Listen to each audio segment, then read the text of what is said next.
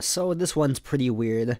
I guess Russia sent up a satellite to space filled with geckos with the sole purpose of having the geckos quote unquote mate in zero gravity to see how they have sex in zero gravity, I guess.